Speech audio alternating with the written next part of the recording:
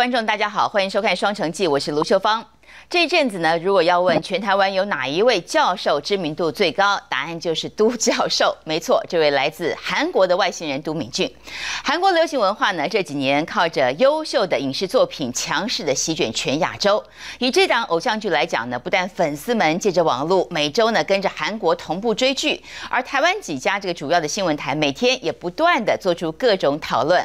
而万一不小心泄露剧情的话，还会被这个观众骂得满头包。而如如果我们以为这股寒流只在台湾，那就错了，在大陆一样的造成了相当的轰动。到底什么样的文化和原因让韩国的这个流行影视有这么大的魅力？而韩国人是如何办到的？在今天双城记，我们两岸就共同来讨论跟面对这个现象。观众朋友，大家好，欢迎收看《双城记》，我是王清源，我是曹景行。啊，曹老师，你有没有感觉到最近有一股强烈的寒流袭来？啊，这个寒流呢，应该说是一部电视剧，叫《来自星星的你》，红遍了，可以说是中国大陆，也红遍了亚洲。嗯，啊，之前呢，像韩剧演员当中的李明浩啊，登陆央视春晚，也成为央视春晚当中一个轰动的环节。而且现在呢，这股寒流不仅仅是表现在韩剧和韩星大热。我觉得它也带动了韩国的文化、韩国的明星，甚至是韩国美食的风靡啊。对，这些年来呢，这样的这种情况。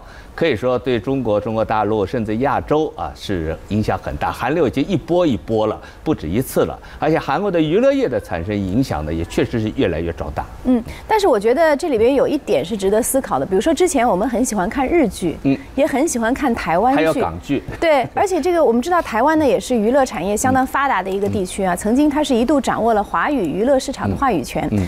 但是现在呢，我觉得它的影响力似乎没有以前那么大了。呃，我我刚才说的不只是台剧，台湾的这个，包括香港剧、港剧在粤语的这个 TVB 剧嘛，TVB 剧，但是现在也是影响力不那么大了。是，所以今天我们一起来探讨这个话题。嗯好，秀芳，请介绍一下今天台北演播室的嘉宾。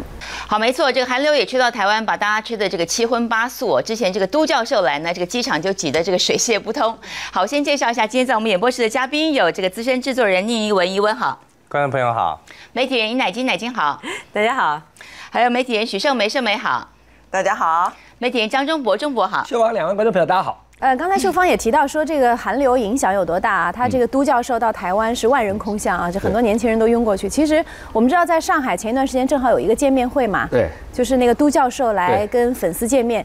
结果您猜猜他那个票炒到多少钱？两万就前排票，对，我知道两万两万五人民币。这个秀芳，你能你能这个想象吗？两万五千块人民币一张票，就为了见都教授一面。那个场面，我想起有点像五十年前那个披头士到美国所造成那种疯狂。比如说啊，有的女青年从外地来，她为了见一见都教授，见见这个演员金金秀贤，对吧？叫叫对对对金秀贤，我好我还不太熟悉这个名字。结果她打听她住在哪个房间，哪个饭店哪个房间，然后就在他隔壁这个房间把他租下来，一个晚上三千块，然后就为了见他一下，结果呢见了他上电梯的那个两秒钟啊，才两秒钟，然后他觉得也许也是值得的啊，所以这种状况也是，呃，在在中国来说啊，在内地来说已经是。呃，可以说是疯狂，在某些观众当中，呃，甚至还有一个消息，我我我我昨天知道有一个整容的一个医生啊，他的朋友打电话，他说你能不能劝劝我的儿子？我的儿子已经办好了韩国的签证，他们几个同学都要去韩国，整成都教授那个样子。所以这类事情在上海啊，这两天已经是。成为一个现象，我成为我们新闻人先把它作为现象。对，而且而且那个见面会的那个场地啊，据说它好像是晚上是见面会啊，但是一大早开始就全是人，就大家都在那里等，哪怕等个十几个小时，能够第一眼看到杜教授啊，有好多是拖着旅行箱的，是是，刚刚从外地来，刚刚从机场或者火车站赶过来的，对，是。好，那秀芳介绍一下，在台湾的时候，杜教授有什么样的受到了什么样的礼遇啊？那首先先请教一下这个圣梅跟乃金啊，你们这两位这个女性对杜教授可以免疫吗？来，乃金先说好了。我觉得都教授，我觉得都教授这一次啊，在这个戏里面呢，他确确实实发挥了一个作用。因为事实上呢，这个女主角的年纪呢是比他大的哈，然后然后呢，在这个呃荧幕上面呈现出来，其实看到的是一个。熟女啊，亲熟女呢，跟一个哇长得非常的帅气的一个帅哥，我觉得这个部分呢，满足了很多师奶的心。我觉得这个部分，我觉得在操作上面呢，可能不是一开始他们呃特意的去营造那样的气氛，可是呢，却有这样的一个效果。我觉得这点还蛮高明的。对，秀美。可是当然，我们看到这个都教授，事实上他有很多很多的元素哦。我觉得这也是大家疯狂的一部分。比方说他的发型啊，对不对啊？那比方说他的穿着啊，还有哇，他那个富丽堂皇。的家，我必须说，因为我也得了都教授依赖症，而且这个病，呃，我其实是病的蛮严重的。我本身很喜欢看戏剧，我想两岸三地所有的戏剧节目我都不错过，当然韩剧我也非常喜欢看。我本身也算是韩范之一，但是有关金秀贤他演的所有的剧我都看过了，包括之前的《拥抱太阳的月亮》，到现在的《来自星星的你》。那刚刚还提到韩国的电影《伟大的隐藏者》，我也看了，还有我们台湾翻成《神偷大劫案》。那当然，刚刚秀芳提到了《来自星星的你》，它是一个很多的元素。放在一起之后，爆发成一个韩国的热潮。它的热潮在于，刚刚我们还聊到，就是说，我们知道这一次金秀贤的亚洲巡回，他先到上海、台北，然后到了香港。刚刚还提到，在上海很多人想见到他，两秒钟要多少多少钱，对不对？香港这一站更惊人，因为他是四月初要到香港，邀请他呃金秀贤到香港的这个精品公司的老板，他的女儿想跟金秀贤吃一餐饭。一一顿饭啊，那就问了金秀贤他们的经纪公司跟这中间的公关开出的价钱，各位一千万人民币，一千万人民币一顿饭，一顿饭，一顿饭啊，将近大概四千多万台币。那你们会觉得？这样呃，有人会去吃吗？还真的有。对，因为听说当天的这个饭局有十个人可以参加，所以这哎，所以你今天的造型是千颂伊造型吗？其实我今天穿的就是韩国的服饰。最近韩国的入戏很深呐，非常深。我这个都教授依赖症呢，我希望都教授能够帮我解答，好像现在也难以解答。但是我想问各位一个比较严肃的问题，因为生活很无聊嘛，生活很空虚。刚刚乃静也讲了，可在这个戏里面，你。看到这样一个女主角，她有一个外星人随时帮她解决所有的疑难杂症，你看了挺开心的。这个戏要结束之前，好多人开始失落、沮丧、空虚了。为什么？都教授去哪里了？所以今天我们要聊这个韩流的影响，这个影响还真的很深。所以怎么样呢？所以他是一个这个东方版的超人吗？而且你看又长得那么奶油，对不对？像个雕像一样。我觉得你形容东方版超人蛮像的啊。对，而且他。他也满足了很多人的想象跟欲望了啊！我觉得这个就是戏剧的戏剧很厉害的地方，所以他为什么会那么的？那么的震撼到这么多人，所以我刚才听这个盛美讲说，哇，为了跟他吃一顿饭要花一百万人民币呀，哇，那这个之前的时候，那这样其他真的是小儿科了，因为他要到台北，然后呢，很多的在香港的一些朋友什么，他们买已经买不到那个票了啊，所以呢，就来托我说要买那票，我想说，谁呀？怎么回事啊？为什么有这么，为什么有这么大的那么？后来。这都太晚了，就是等到你提出来说你要去买那个票的时候，早就都已经秒秒杀完了。哎，怡文，你自己是这个拍戏的啊，这个制作人，你来分析一下这个戏为什么这么红？我们看到类似的这个偶像剧其实蛮多的，是。那么为什么这样的一个组合，这样的一个情节就会红成这样？我想大家都在谈这个来自星星的你的都教授，可是他应该是一个一时的现象，他不会是一个常态。那这种风靡的现象呢，如果长期以来就我们拍戏的制作单位来说，它不是一个长远发展的常态。那我觉得还是会有，像之前有一个一个叫做大家口呃这个耳熟能详的叫做加倍奉还，嗯，可是半泽直树，对对，可是它的喷发力很惊人嘛，一时的，我觉得是一时的。对，那现在我们就电视环境来说，我们应该要走一个更远更广的路线，像中国大陆，它现在一直在拍一些很经典的历史剧。那他们对于这个东西有国家的支持，那韩国其实他们也是有国家跟企业的支持，所以他们可以把他们的戏剧做到博大精深。比方说他们在戏里面，他们讲到大长今的时候，他们会把很多有关于文化、吃的文化的东西，很细腻的放在里面。呃，可是中国，我觉得有更好的人才。台湾有更爆发的想象力，应该会在这这两者之间其实可以并行不悖的啊。那您说的历史剧这些，它它是比较厚重的嘛，它是比较经典的东西。但是像都都教授这样的，它是一个流行文化嘛。我们说流行文化，当然它可能不会那么的长久，但是在一段时间内能够引起这样的轰动，而且它毕竟捞金嘛，它挣了这么多的钱。我觉得这个文化现象，我们还是可以分析一下，到底为什么会产生都教授这样一个戏剧人物？我们之前看的很多偶像剧啊，什么这个言情剧啊。啊，都是这个呃主人公啊讲这个爱情故事，我觉得还是蛮蛮正常的。但是这次来了个外星人，我觉得关键就在于外星人上，他不是一个地球上的人，所以他满足了所有的这个地球人的所有的这个想象，都集中在一个完美的人的身上。满足了观众当中的主体，电视剧的观众主体当中，师奶嘛，女性啊，呃，也不只是师奶，可能从年轻的女性她们看到的一种呃一种爱慕的对象。从中年或者更年纪大一点的，她们看到的可能是一个母爱的家长，是 这种都有。所以就是老少通吃嘛，这样一个角色。甚至我现在发现呢，就是不只是，现在男性也在看，男性也在看。有男性在看吗？呃呃是是不不只是就是年轻男性在看，我说小孩小孩在看，大学生在看。我问过我清华大学同学，我说你们看吗？男同学，男同学也看，男同学会看吗？男同学也会看，他们要知道竞争对手是什么。啊，是竞争对手是谁？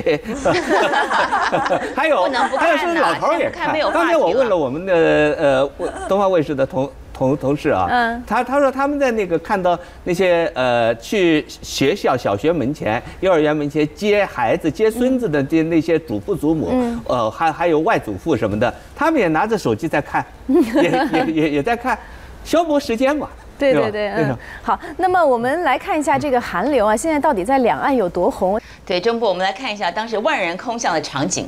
对，呃，最近啊，呃，来自星星的你呢，大家都知道是金秀贤，可是呢，就像我们刚刚制作人宁先讲到的，说，哎呀，这个有时候呢，就是火就火那一阵子，所以之前其实真正火的是继承者们，那不晓得大家还记不记得？那继承者们呢，当时呢，他的这个男主角呢，来到了杭州。他到杭州的时候啊，各位请看一下，那个外，当然这个是一个意示意图啦。那我我我我请观众朋友在看这示意图的同时，我讲，你知道他当时在到杭州的时候，他为了要亲民啊，他就没有走那个 VIP 道，就就因为他没走 VIP 道，完了，工作人员真的被他吓翻了，因为所有的影迷都为了要能够跟他近距离的接触，就是把整个杭州机场给挤爆了。然后呢，五分钟的路呢，说走不出去。走不去就算了，那前现场呢还上演全武行，因为粉丝跟粉丝之间呢可能会觉得为什么你跑在我前面，然后就这这这个摔得鼻青脸肿啊，打来打去的都有。你就看到一个韩星，他一旦到了大陆去造访的时候，可能啊还没有入到国境内，只是在大陆的机场呢就已经水泄不通了。那另外呢，像刚刚我们一一开始提到的这个金秀贤，那金秀贤呢，他这次去上海跟这个粉丝见面会，那一张票卖到了。您刚刚提到说两万五千块人民币，那我来讲讲台湾的情形好了，因为之前刚好呢，这个我有朋友啊，也很希望能够买到金秀贤的这个跟粉丝之间的这个见面票，没想到呢，他是一个多月前跟我讲，就说，哎呀，我这样够早提醒你了吧，钟博，你一定要能够帮我弄到这张票。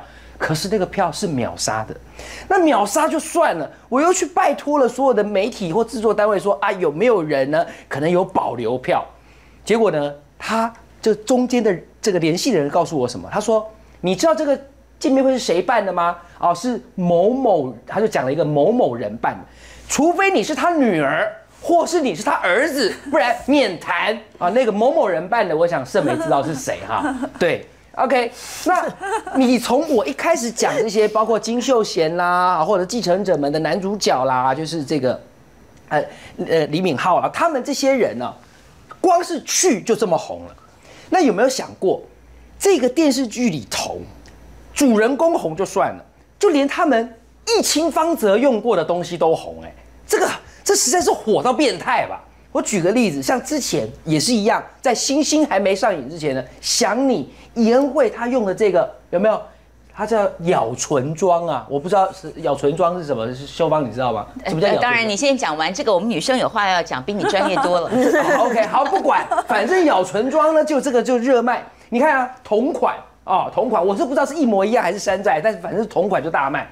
那来自星星的你就更不用讲了，你只要去那个淘宝网啊，你输入了来自星星的你空格千送一同款款千送一你知道会款跑出。对 对，你上过了吧？是吧？那我金源，我请教你，你你上过，但你有去算过会跑出几件物品吗？我算过，十一万件呐、就就输入这七来自星星的，就输入八个字，它就跑出十一万件。好，一样，他用了唇膏。那因为来自星星的你，我也有看。我告诉各位，不止，包括呢，他从头到尾身上从头到脚穿穿过的衣服，有人就戏称说他穿的那个欧洲的品牌的，从 A 到 Z 都都穿过一遍了。剧中有一幕，大家看能不能挑起你们的记忆。他不是有一幕，他开他的车去学校，要去参加都教授的考试。他开着他的红色敞篷跑车，他的包包是不是挂在那个照后镜上面啊？去加油站的时候，他被人家提醒包。对，一个特写。您知道为什么要有这个桥段吗？他就是要献那个包给观众朋友看嘛。你从头到尾不就看到那个包，也也看到那个车了嘛？是不是？所以中博那口红，我打断一下，我知道盛梅你就买了，对不对？对，他的包跟衣服我买不起，我问过了，但是只有口红我买得起。但是他这款口红在韩国已经是限量买不到，我只好找同样的颜色。所以我今天擦的这个有点橘色的，也类似千颂伊。但是之前你们说咬唇妆的尹恩惠的红色的，我也买了，我也买了，台湾买得到。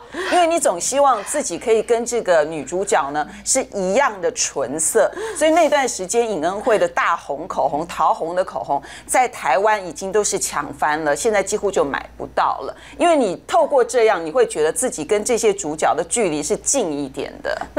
对，所以创造了一个新的名词，它叫是咬唇妆啊，就它不是画的全部都很红，它里面红一点点，好像很自然啊。这个女主角欲言又止，咬一下有什么事情想说又不敢说的感觉，对不对？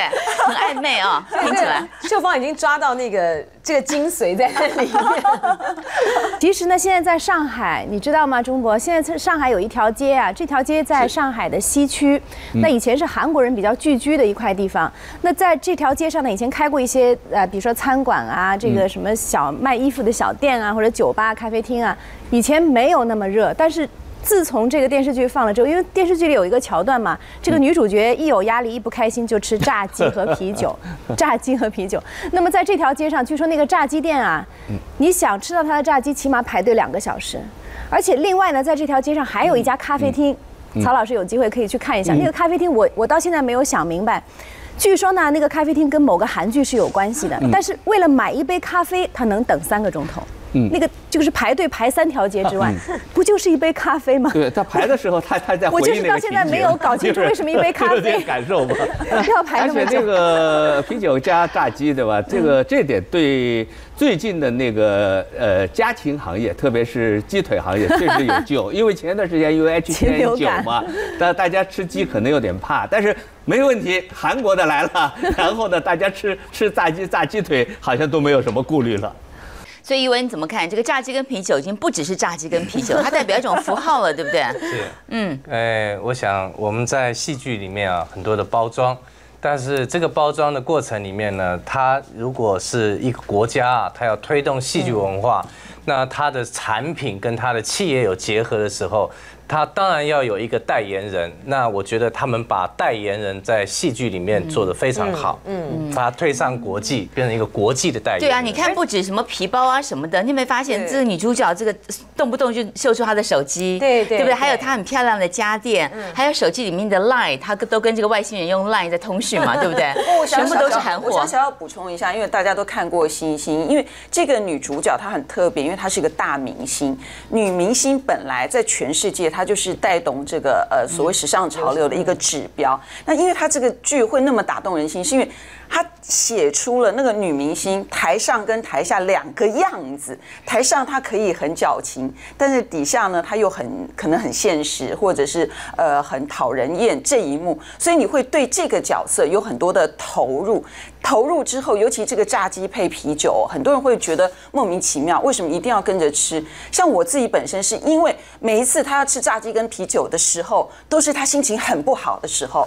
她觉得她要抒发压力了。因为女明星每天都只能吃半颗的白菜，好辛苦的，所以当她要吃这个东西，就是一个情绪要宣泄了。哎，那就打动很多人的心，因为你生活当中很多压力，你会觉得你吃了炸鸡配啤酒，你也可以宣泄你的压力。你想想看，炸鸡跟啤酒的热量都不低耶，对不对？所以才是宣泄压力呀。我放弃了，对不对？比如说，我们知道台湾有几个鸡排的品牌嘛，什么牌什么牌，好像有品牌。炸鸡配啤酒好像没有什么品牌。中国，你有没有研究过这个炸鸡和啤酒的问题？我研究的是，那为什么女主角要吃炸鸡啊？其实呢，这出现在她的这个影集里头，它最主要是因为呢下雪了，下雪，而且是初雪。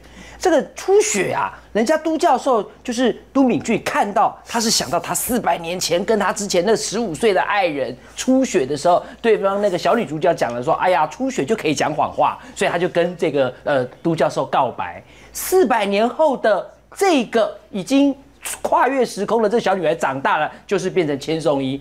没想到镜头到她，我还以为她也会讲出什么诗情画意的话了。没想到她竟然讲初雪，怎么没有可以没有炸鸡跟啤酒呢？然后陆陆续续他也念了一大堆的韩国美食啊，这样子。好，炸鸡美食。呃，啤酒就红喽，而且呢，这剧中还有一段是他跟他的这个姐妹涛有没有？他跟他诉苦啊，说呃别人的死跟他无关啊。到了餐厅，他在郁闷的时候，他又点炸鸡跟啤酒来吃。一部戏，我记得我在看到第一集的时候，女主角曾经在课堂上跟都教授讲一句话，发人省思。他说：“你每天都在讲那些历史啊，亚洲为什么连在一块啊？”教授。其实就是因为韩流啊，这是他跟都敏俊讲的话。我乍听之下，我非常不以为然，可是却看到了韩国人的企图心。你看哦，剧中的景点呢，秀芳，你看南山塔，我以前我个人孤陋寡闻，我都没听过。就原来在首尔有一个不高两百公尺的南山，上面呢就可以看到整个这个首尔的夜景。他们在里头去过，所以大家都去。还有个情人锁墙，情人都在那边放上锁啊。小法兰西村，我个人就去过了。其实呢，我我坦白说，我觉得不怎么样。但是呢，他在那边就因为他们在那边打个啵。打个 kiss，现在很多人都要去那儿，在这个角度打啵打 kiss，所以他们啊，我我我要讲是他们所引起的这股旋风，这股潮流，他们自己叫做韩流，很多人的确呢也都会跟着他们来仿效，因为他们崇拜他们这里头的偶像。那这就是刚刚金源讲到红泉街，红泉街这家烧烤店下午两点才开门。早上午十十大概十一点多去拿号码牌，两点才可以吃到。如果是下午两三点拿到号码牌，你就等八点再吃吧。如果是下午四点拿到号码牌，您等宵夜十一点再吃吧。好，排队排成这样，万人空巷，看到了都敏俊，一定要拍照。有一对情侣去那边，正要拿手机出来拍的时候，女的发现手机没电了，她臭骂她男朋友，她说：“哎。”来这儿，你给我手机没电，请问来这不拍照、不传微博、不传微信，我还能做什么？你就知道洪泉街在金源的眼中，您啊还没有像他们那么哈呢。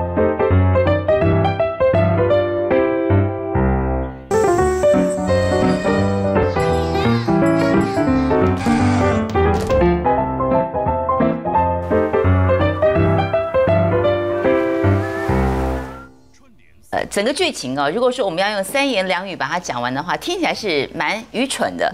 有一次我女儿，因为她看到这个电视广告，我女儿十二岁，她就问我妈，这部戏到底在演什么？她没有看。那我想怎么跟一个孩子讲呢？我就说这样子，有个这个女明星。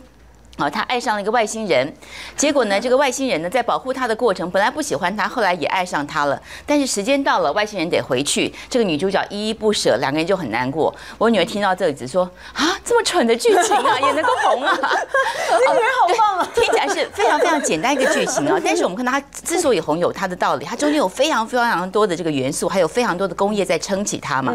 我觉得从这个台湾戏剧的角度怎么怎么看？当然，我们看到它很多镜头很简单，没什么意义，但是他就可以把那个气氛营造的很好。另外，他的画质也很细。对对。其实我觉得哈，在这个 这次这个戏哦，它那个这个红的那个能量呢是非常非常大的。但是这也并不是说呃韩流的剧里面呢第一出这么的这么的红啊。先前的时候，其实像刚才呃宁提到的是，呃不管是大长今也好像怡文提到大长今啦，或更早期的像那明成皇后啊，她都也引起很多的风潮。可是因为杜教授这个戏呢，它是一个。流行文化，而且它这个流行文化涵盖的层面很广。以前早期的时候，像呃这个都教授的经纪人就是裴勇俊，他们那时候拍那个《冬季恋歌》，对《冬季恋歌》呢也是引起很多的风潮，很多的台湾的呃这些哇非常爱这个裴勇俊的人，就跑到这个《冬季恋歌》里面的这些剧情里面去啊，去游览、去游历。我觉得韩国在促销他们的这个流行文化上面呢是非常有一套的，关键就在于是它让所有看的人呢。他很自然的去接受它，因为有一些的这种置入性行销呢，你很明显你一看就知道是它是在置入的，那个观众就会产生一些排斥感。然后现在又加上网络的这些采买啊，完全就是没有国界的，所以使得这些的商品呢可以这么通行。盛美，我不知道怎么看，有一个啊，那个韩国的那个他们的呃这些业者讲一句话，我觉得真的讲出他们的心声。他们好喜欢这部戏哦，因为呢过去几部呃韩国比较流行。的啊卖的这个戏呢，都是比较苦命的 哈，或者是说比较小家碧玉的一些男主角啊、女女主角，所以呢都没有像这一次哇，一个大明星，他可以所有高档的衣服都穿在他身上。对，就是说现在的韩剧好像跟以前是不一样。我们以前记得，那我也看过《大长今》，也看过。蓝色生死恋吧，这个好像是叫蓝色生死恋，这是好几年以前的韩剧，真的就是哭哭啼啼的，然后就是让让你这个情绪看完了以后很郁闷、很虐心的这种电视剧。但是呢，这部戏我就觉得很很很养眼啊，就是帅哥美女，然后任何的包装都是很精良，然后他们的这个爱情故事简直就不是在地球上能够发生的故事啊！像这样一个东西看完就让人很开心。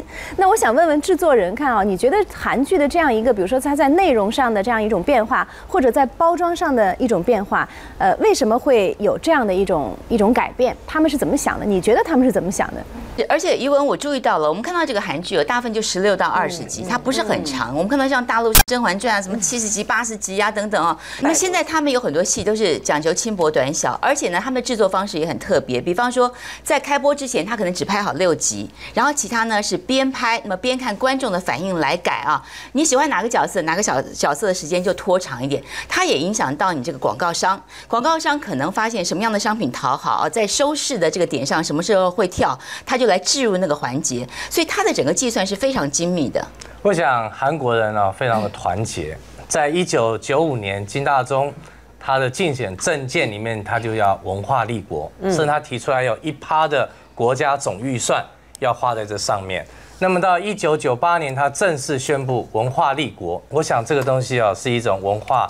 跟经济的一种侵略的手段，我个人是这么认为啦啊。那其实韩国人我们也能，我们其实在大概距离现在二十五到三十年以前，台湾已经是亚洲的戏剧王国了。其实不是他们在进步，是我们在退步。他们的想法呢，非常的自由。像如果我们今天当制作人，我们今天到任何一个在台湾的电视台，你跟人家提案说我要一个故事，这个故事里面的女主角会看到鬼。电视台会告诉说你才见鬼，你告诉他说我要演一个从外星来的男人爱上一个，他也会告诉你说这种东西是，所以真的吗？台湾电视台的高层有这么的这个封闭跟僵硬吗？有吗？像以现在我们来看的话，是有的，是没有安全感了。对，大家会觉得说这样的话好像会收视率不好。我们的收视族群到底在哪里？那事实上现在呢，我们在台湾有好所谓的长寿剧。他们以不断的重复的剧情、重复的桥段，可是。这我觉得把台湾的戏剧人的创意啊，通通给抹杀了。嗯嗯嗯。我想补充一下，因为我赞成呃，我们宁制作刚刚提到文化侵略的这个部分，我想小小讲一下，就是其实这几年呢，他们也用音乐在世界各国做文化的侵略。我们都知道新世纪不可能有战争了，国家跟国家之间比的是什么？是软实力。而韩国很早就看到这个问题，这几年哦，登上全世界舞台的呢，有一个团队。你一定会清楚少女时代，你一定知道 Super Junior。那他们这家公司的这个老板李秀满先生，他当年成立了 SM 娱乐经纪公司。他的想法就是因为他到美国去留学，他组了一个重呃摇滚呃重金属摇滚乐团，他是其中的团员。他当时想过一个问题是，提到美国的音乐，你会想到谁？你会想到猫王 Michael Jackson，这个是全世界都。都听他的歌的，都受他们影响的。那李秀满当时就问自己：我们韩国有什么东西是全世界的人想到的时候会想到韩国的谁谁谁？没有。所以他当时成立了这个公司公司的时候，他是有企图心的。大家会发现哦，光从音乐来讲，他们现在很多团体用的是英文的名字，EX。现在那个吴亦凡在大陆的这个亚洲男神票选是第一名啊，类似这样。他的副歌选的是英文，呃，Sorry Sorry Sorry，你可以很简单，少女时代，你只要啾啾啾就好，你只要会会发音就好。为什么？它要引起你的共鸣。那我们再来讲韩剧，这个更更惊人，因为从早期的李英爱的《火花》讲的是外遇，到《浪漫满屋》，宋慧乔跟苑讲的是年轻人的同居时代，到《拥抱太阳的月亮》，这个金秀贤演的是朝鲜王李轩。你很惊讶，是因为我看了这个《拥抱太阳的月亮》哦，这个朝鲜王哎，几百年前他问他的妃子说：“你现在在读什么书？”他的妃子说：“我正在念《韩非子》，这这就是一种文化的侵略了。他这是告诉他们的年轻人，《韩非子》不是我们中国的老祖宗吗？那你看这个陈军馆绯闻哦，他的这个主角是 J Y J 的朴有天。韩国人厉害的地方是他找非常年轻的偶像来演历史剧，这在台湾是没有的。历史剧多半都是比较年纪资深的艺人来演，他找年轻人来演。”陈军馆绯闻，我前后看了五遍。这个剧呢非常古老了，讲的是以前他们的大学。各位，他们三不五时都在念什么？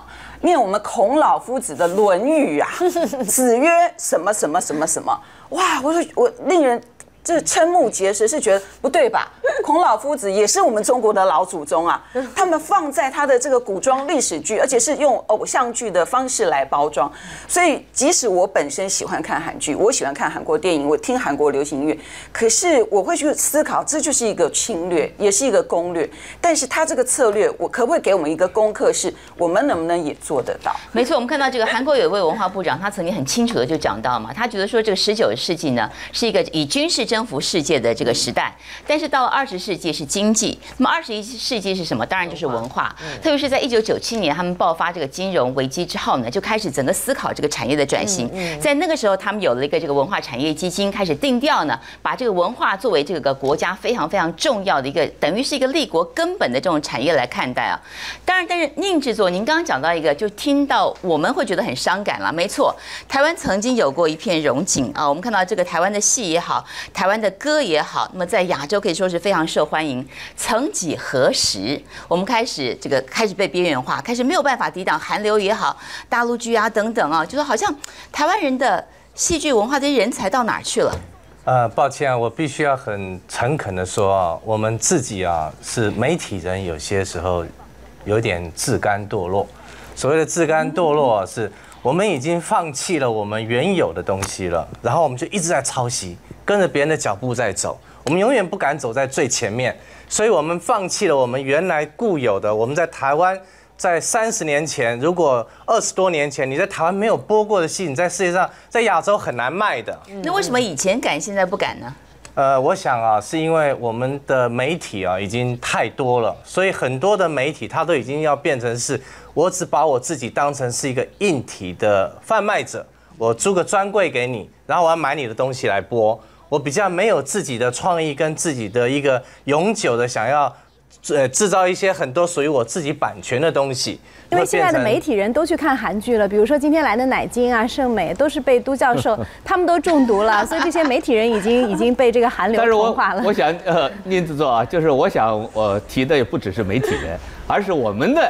电视制作人，比如说我们和韩国相比较，我们现在拍一集电视剧，我们能够投入多少，他们能够投入多少，而且他们背后的团队，关于这种整个从剧本的创作，一直到后面的营销，他们的整个团队和台湾比，或者和大陆比，他们是不是有占有比较大的优势，才可能出现这种产品？以台湾的制作环境跟大陆的制作环境来说，我们不会输给他们。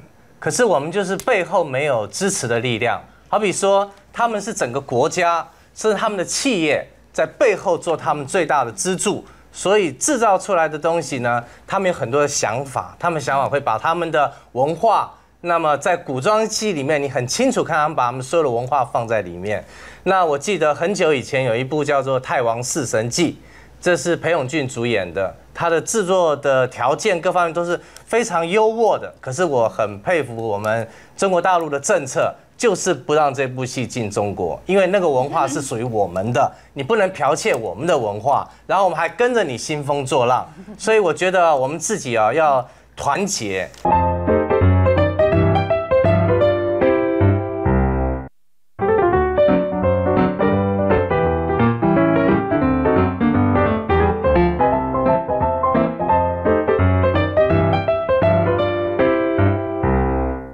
包括国家的支持也好，产业的支持也好，我觉得回到根本啊，可能还是一个经济、一个钱的一个问题。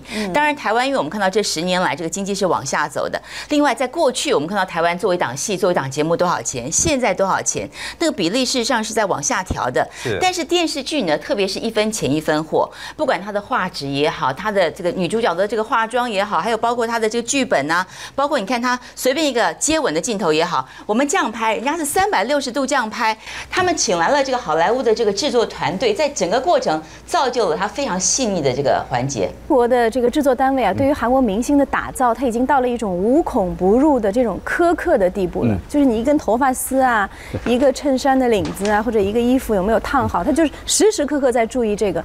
那么曹老师，我有一个问题，就是说你觉得这个电视剧的内容或者编剧在这里面还起多大的作用呢？包括刚才秀芳讲，她女儿在看这个戏啊，没有看过这个戏，你跟她讲这个故事的情节的时候，她会。马上跟你讲这么蠢的一个故事，就是说大家似乎就没有那么多人在重视这个剧本本身的质量，就是你故事究竟讲的好听不好听已经不重要了，我就是看人好不好看。我觉得他们的行销非常厉害，嗯，行销也非常厉害。他有一种叫饥饿行销，啊，就是包括像金秀贤跑到上海来，跑到台湾来，他控制那种见面的票子非常成功，他让你引起疯狂。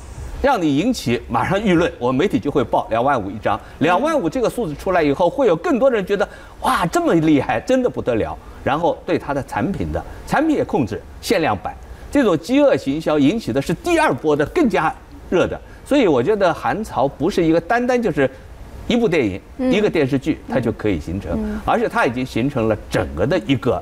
整个的一个呃流生产过程吧。对，那曹老师，我们反过来看一下台湾的电视剧，因为今天正好台湾嘉宾在，而且有个台湾制作人在啊。在我的印象里面，我以前看台湾电视剧，我印象比较深的其实是琼瑶系列。啊，那时候琼瑶系列还有就是像。台商早期来的时候，他们会注意到啊，呃，大陆现在对台湾的电视剧很迷啊，也是新兴剧啊。当时有一部叫《星星知我心》，现在是外星人来自星星，都是星星，像不一样。像琼瑶剧也好，这个来自《星星知我心》也好，我觉得当时编剧还是很精良，他有一个很很很成熟的，或者是一个呃很有积淀的这样一个本子在背后做支撑，而不是说。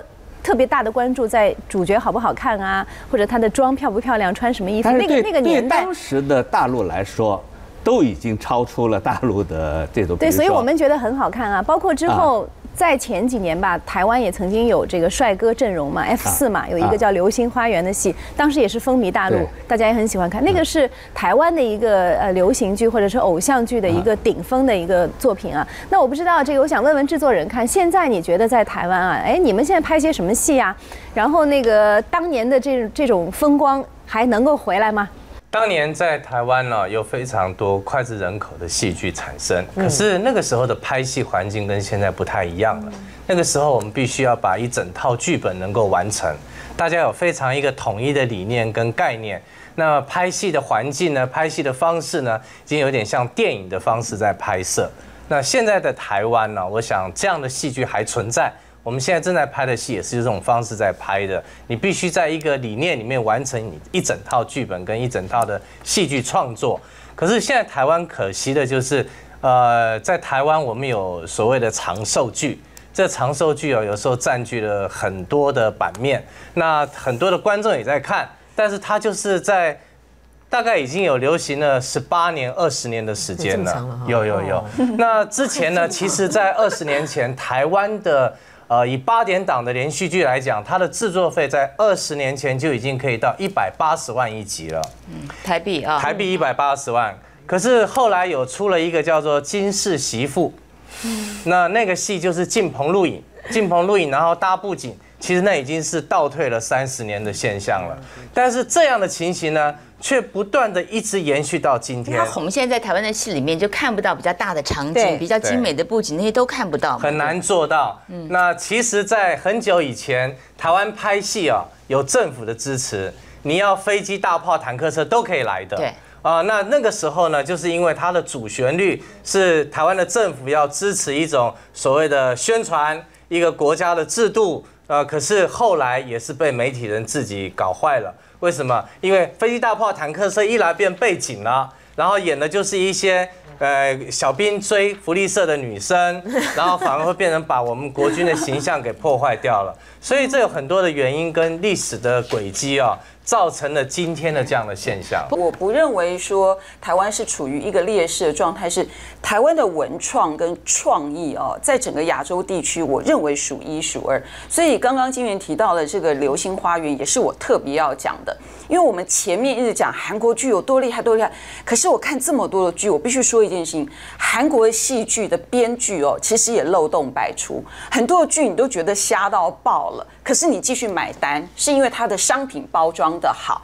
但你说剧本，台湾其实很强的，可是我觉得非常可惜，是刚刚制作人讲了，我们如果现在要作战，兵还没有走，粮草要先走，台湾现在没有粮草。我们被掐住了脖子，所以你说你给我，你只给我五十万台币做一集戏，我能做什么？我就只好拼凑这些道具跟剧本的内容。那你如果五百万拍一出戏，那出来的规格就不一样了。所以我还是对台湾很有呃信心，是认为一向台湾是戏剧王国。各位记不记得我们中天中视频道有播过的《兰陵王》？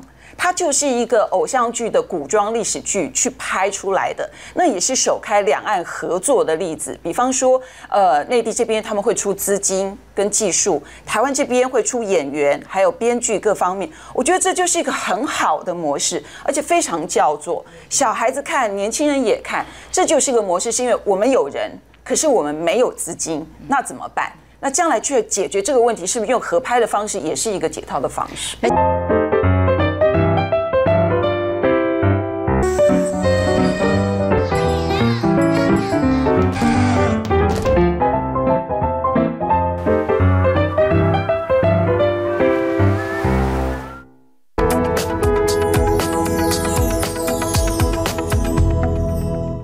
长长长长，你小心啊！前面有棵树。哎呦啊！双双，我刚撞了一下，好痛哦！程程，我前面就喊过你要当心啊！你还不听？你在看什么？我前面在看我的朋友圈，看得太投入，就忘了看路了。长长，你就是典型的低头族哦。什么什么什么低头族？